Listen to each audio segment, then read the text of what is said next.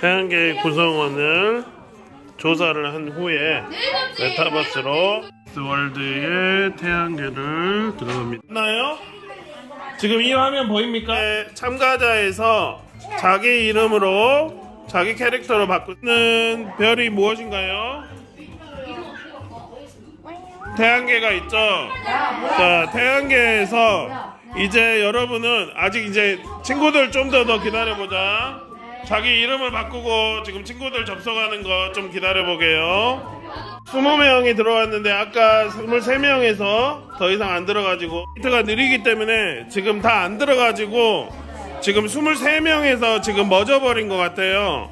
태양계에서 이렇게 있을 수가 있는데 지금 모바일로 하기가 속도가 느려서 컴퓨터실에서 다시 볼게요.